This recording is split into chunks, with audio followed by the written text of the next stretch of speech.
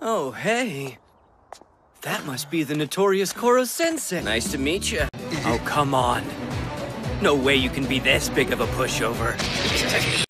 Hey! That's the gelato I brought back from Italy yesterday! Yeah? So, what are you gonna do? Hit me? Rather be dead than stuck in a classroom with that freak.